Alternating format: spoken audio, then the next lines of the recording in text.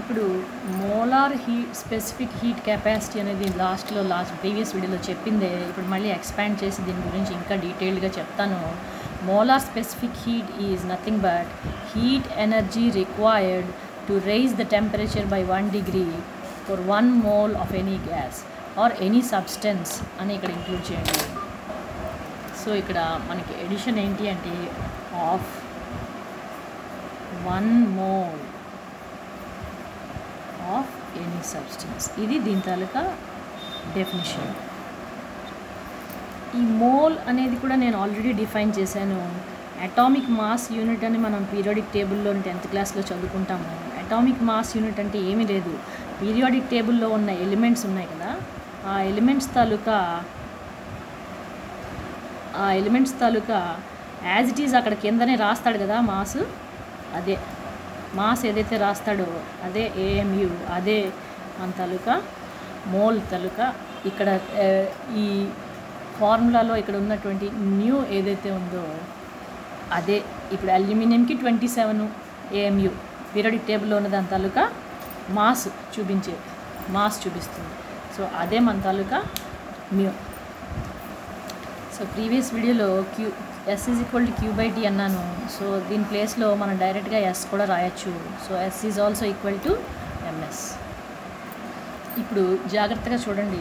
Molar specific heat capacity మనం గ్యాస్కి study చేసినట్లయితే two kinds of situations arise అవుతాయి. Where volume is constant and where pressure is constant ఇప్పుడు నేను volume constant అనేది ఎక్స్ప్లెయిన్ చేస్తాను. ఒక ఎయిర్ టైట్ కంటైనర్ తీసుకున్నాము. అందులో వన్ మోల్ ఆఫ్ గ్యాస్ తీసుకున్నాము వాల్యూమ్ ఈజ్ ఫిక్స్డ్ ఇక్కడ దీన్ని తలక వాల్యూమ్ మనం ఫిక్స్ చేసాము. బయట కూడా అట్మాస్ఫిరిక్ ప్రెషర్ ఉంటుంది లోపల కూడా ప్రెషర్ ఉంటుంది. బయట వన్ అట్మాస్ఫియర్ ఉంటే లోపల కూడా వన్ అట్మాస్ఫియర్ ప్రస్తుతానికి ఉంది. నా I started supplying heat energy ఎప్పుడైతే నేను హీట్ అనేది దీనిలోకి నింపుతూ పోతానో ఈ గ్యాస్ అనేది వేడెక్కి మాలిక్యూల్స్ మధ్యలో స్పేస్ ఇంక్రీజ్ అయ్యి లోపల ప్రెషర్ బాగా ఇంక్రీజ్ అవుతుంది. సో ఇక్కడ ఫస్ట్ సినారియో ఇది స్టెప్ వన్ స్టెప్ టూ మనం హీట్ సప్లై చేసాం. ఈ వాల్యూమ్ ఏదైతే ఉందో వెంటనే వాల్యూమ్ ఎక్స్పాండ్ అవుతుంది. కానీ మనం ఆ వాల్యూమ్ పెరగనివ్వకుండా చూస్తాము. సో ప్రెషర్ ఆటోమేటిక్గా టూ అట్మాస్ఫియర్స్ ఇంక్రీజ్ అవుతుంది. బయట ప్రెషర్ లోవర్ ఉంటుంది లోపల ప్రెషర్ హయ్యర్ ఉంటుంది. నా this is the scenario two so ఇక్కడ మనం మాస్ యాడ్ చేస్తూ పోతాము. So that piston will not move from its position piston అక్కడే ఉంటుంది. అండ్ లోపలైతే ఏదైతే ఉందో ప్రెషర్ ఇంక్రీజ్ చేసింది. ఈ ప్రె వాల్యూమ్ మాత్రం ఎట్టి పరిస్థితుల్లో మనం మారనివ్వము. సో పిస్టన్ బేసికల్లీ ఉన్న పొజిషన్లోనే ఉండి తీరాలి. అంటే పొజిషన్ వన్లో ఎక్కడుందో పొజిషన్ టూలో కూడా ఈవెన్ ఆఫ్టర్ ఇన్ అది లోపలికి హీట్ ఎనర్జీ తీసుకున్నా సరే ఎక్స్పాండ్ అవ్వనివ్వకుండా వాల్యూమ్ అక్కడే ఉంచాము. అండ్ ప్రె ఎప్పుడైతే వాల్యూమ్ని పట్టుకుంటామో ప్రెషర్ ఆబ్వియస్లీ లోపల ఇంక్రీజ్ అయింది బయట కన్నా so molar specific capacity keeping కా volume constant will be CV అని దాన్ని స్పెసిఫై చేస్తాము. So heat energy required to raise the temperature by one degree centigrade for one mole of a substance keeping the volume constant. మనం for example ten జూల్స్గా తీసుకుందాం ఈ కేసులో. So obviously keeping volume constant increases the pressure. ఇక్కడ మనం చూసాం ఆ scenery. ఇప్పుడు ఇదేమో ఒక టైప్ ఆఫ్ సినారియో ఇది ఇప్పుడు సెకండ్ సినారియో ఏంటి అంటే వన్ మోల్ ఆఫ్ గ్యాస్ మనం తీసుకున్నాం లోపల one mole occupies ten CC ఇక్కడ టెన్ సీసీయే ఉంది చివరి దాకా. ఇక్కడ టెన్ సీసీ అలా ఇప్పుడు ఏం జరిగిందంటే మనకి pressure atmosphere pressure one ATM లోపల వన్ ఏటీఎం బయట కూడా ఉంది. సేమ్ అట్మాస్ఫియర్ అందుకని పిస్టన్ బ్యాలెన్స్ అయింది లోపల గ్యాస్ ఉంది. స్టెప్ టూలో మనం దానికి ఫా హీట్ని దానిలోకి సిస్టంలోకి పంపించాము. పంపించగానే ఈ పిస్టన్ పొజిషన్ ఏదైతే ఉందో ఇక్కడి నుంచి ఇక్కడికి మూవ్ అయింది పైకి. దేర్ ఫోర్ క్లియర్గా మనకు తెలుస్తుంది ఈ వాల్యూమ్ ఇక్కడ ఉన్నది చి- తక్కువ వాల్యూము ఇక్కడ ఉన్నది ఇప్పుడు ఎక్కువ volume. Gas is occupying more space ఎందుకు?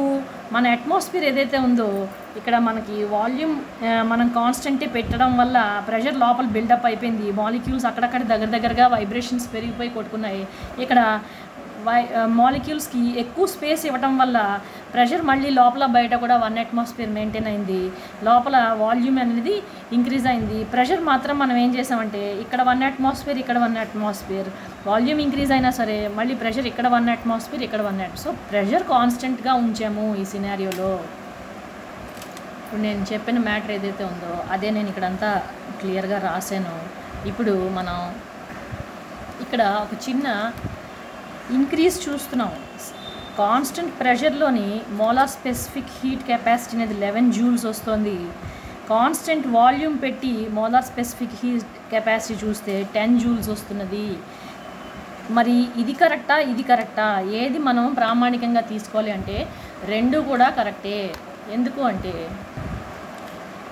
ఈ వన్ జూల్ ఏదైతే ఎక్స్ట్రా హీట్ ఎనర్జీ తీసుకుంటున్నదో సిస్టము ఇక్కడ ఈ one joule is required by the force ఏదైతే ఉందో ఈ గ్యాస్ ఈ పిస్టన్ మీద ఎగ్జర్ట్ చేస్తున్న ఫోర్స్ ఏదైతే ఉందో ఆ force it is causing a displacement of the piston so force causing displacement is nothing but work done by the system so ఈ వన్ జౌల్ ఎక్స్ట్రా ఏం జరుగుతుంది అంటే it is nothing but the work done to move the piston through this distance